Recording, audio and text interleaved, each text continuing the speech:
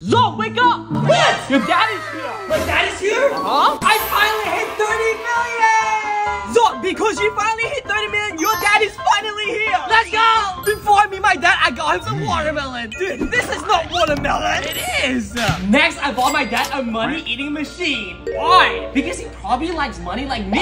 I also bought a soccer ball because my dad must like Ronaldo like me.